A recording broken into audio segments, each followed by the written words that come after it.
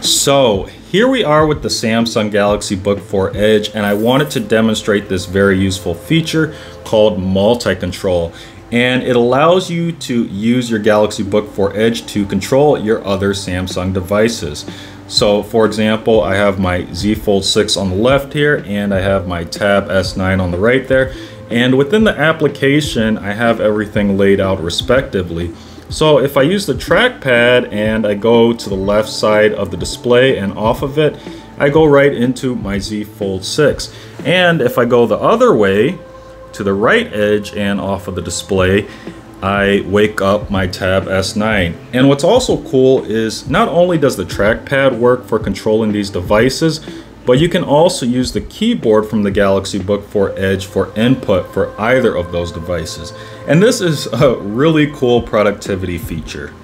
Now the reason I also wanted to cover this is because it emphasizes how the Samsung Galaxy ecosystem is seamless. I don't think it gets enough credit, maybe enough recognition, anything like that.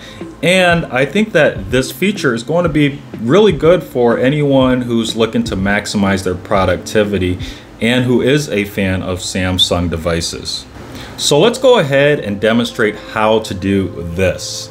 So here we are with this spectacular setup. And once again, we're going to have the Samsung Galaxy Z Fold 6 on the left, the Samsung Galaxy Tab S9 on the right, and the Samsung Galaxy Book 4 Edge in the middle. Now, also of note are devices that are off to the side. They are mounted in these really cool mounts that I covered in a previous video, which I'll link in the corner of this video.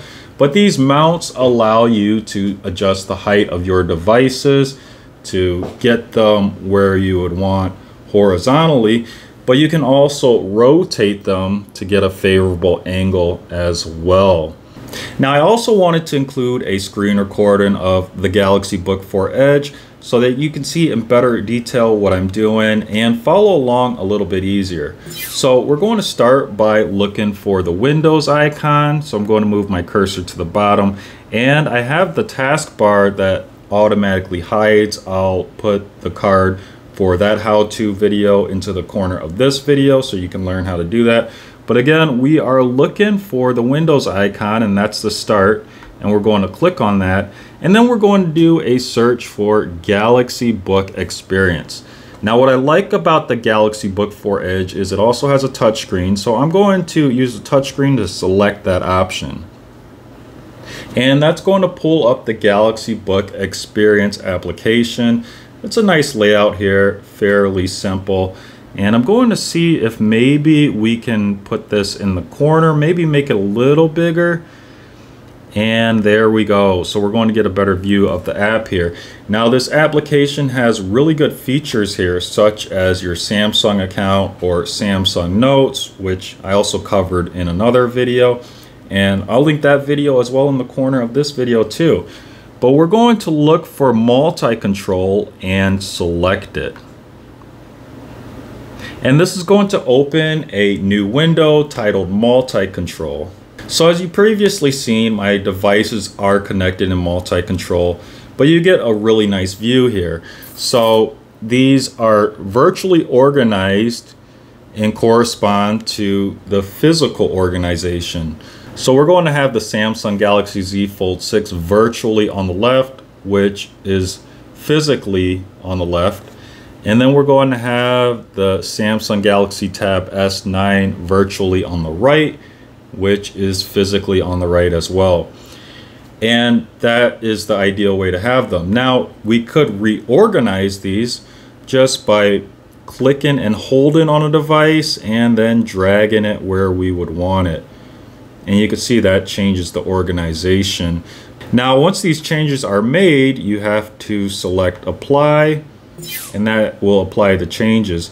So ideally, I should be able to move to the left in the Galaxy Book 4 Edge display, which would bring me through to the Samsung Galaxy Z Fold 6.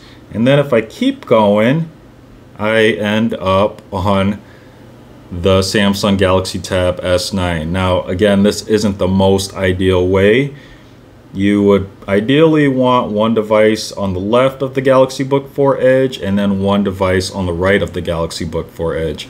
So that being said, I'm going to drag the tab S9 back to the right side of the Galaxy Book 4 Edge and then click apply. So as you've seen, we can use the trackpad to control these devices.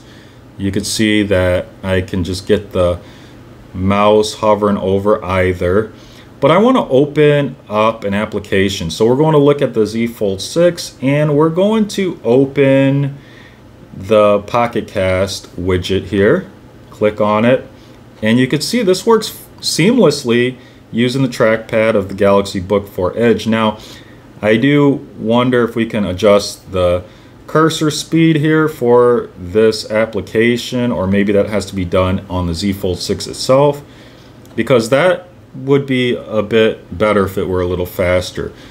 But we can also use gestures like two fingers to swipe down on the interface of the Pocket Cast app. Now what's also cool is we can use the Galaxy Book 4 Edge's actual keyboard as input for either of these devices. So we're going to focus on the Tab S9 and I'm going to move the cursor to that device. Again, works really seamless here.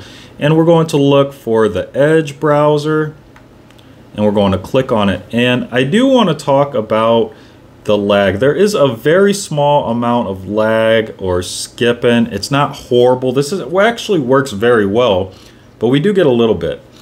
But we're going to use the physical keyboard of the Galaxy Book 4 Edge on the Tab S9 for input.